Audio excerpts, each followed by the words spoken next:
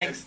And so let us talk about this, this concerto that we both love, Mm-hmm. but we both commented that early on it, uh, it is considered a student work. That, that it's something that a lot of high school students uh, approach. And you were talking about the Mendelssohn violin concerto also yeah. suffering from that uh, kind of early. And Mozart, unfortunately, sometimes you know people start Mozart early. That's a crime, I would say. Yeah. Yes, it is a crime. it is a crime. It is a crime.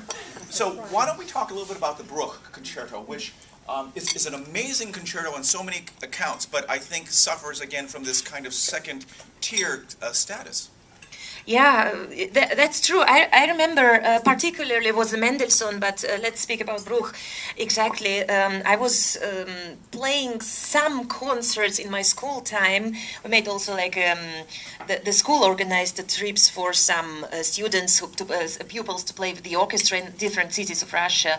And Bruch concerto was very popular, so maybe that was a little bit of reason like pupils play Bruch concerto, and and by um, the age also of um, what, the, the conservatory age, you know, like 20, 21, they say, ah, yeah, but this is the concerto to play at the age of 12, so it's really no problem. Well, um, I I was. Uh, also, I, I heard. Uh, did, did you hear about uh, Brahms, uh, uh, Bruch uh, as a as a little Brahms concerto? Oh, Did you really? hear about this? Uh, no, yeah. I didn't. Who said that? Yeah, I don't really know where it comes from.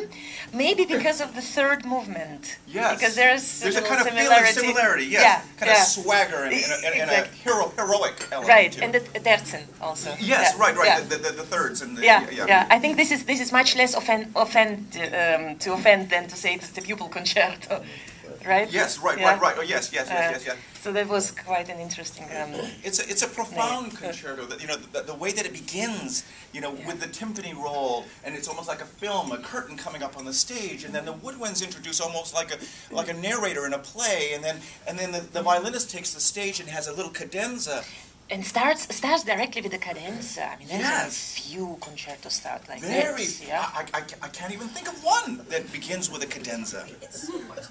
Not really. Not the Brahms, not, No. the, not the Sibelius, Tchaikovsky, uh, no Sibelius, and you know, I mean, Beethoven? No, No. no, no, no. There's a Beethoven No, orchestra. no, No. some some Beethoven piano concerti perhaps, but Yeah. not, but but not a violin Mhm, concerto. mhm. So I mean, there's so many things that and, and, Bruch actually perhaps wanted to call it a fantasy instead of a concerto. And I think the great was it Joachim, who who who did the second performance.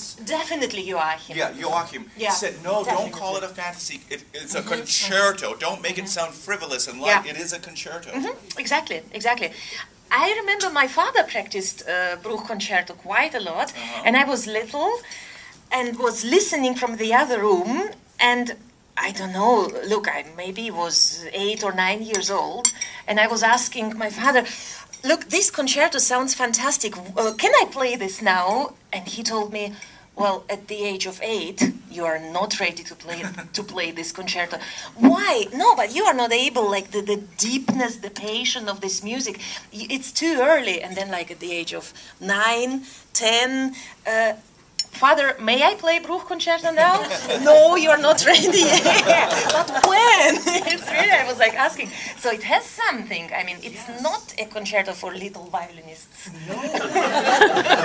No, no. I mean, the second movement is the most most haunting and most profound. It's not just an adioso, you know, simple, beautiful melody. It's mm-hmm. it is of intense personal. Exactly. The, the second movement is, I think, the most one of the most famous.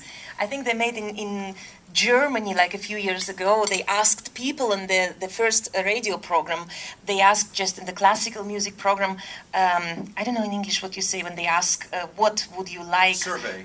survey what you like to be played at the definite uh, evening time, and most of the people voted for the second movement of Bruch concerto. Oh, Yeah. wonderful, Yeah, so wonderful, it's wonderful, interesting, yeah. wonderful. And then the third movement is so lively and athletic and and uh, it's just it hap- uh, it's, it's happiness, pure. It's, it's pure happiness, yes, and Yeah. they, they you run to the end, till, till the very end. Uh, the yes.